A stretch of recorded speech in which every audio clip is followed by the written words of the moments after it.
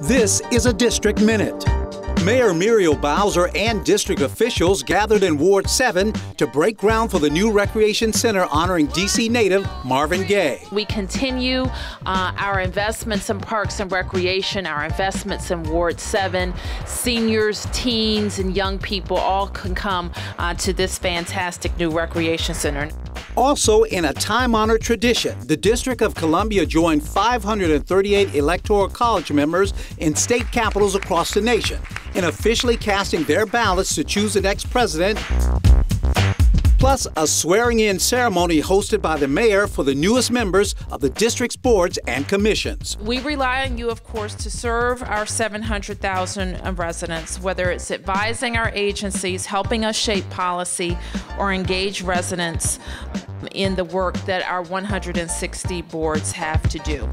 This has been a District Minute.